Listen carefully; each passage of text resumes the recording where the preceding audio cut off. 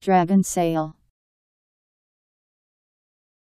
A sail that is believed to have been used by the Vikings on their ships. It was formed like a wing and square rigged, and was up to 24 x 4 meters in size. The sail was swung from one side to the other to keep to aid in steering. D R A G O N S A I L Dragon sail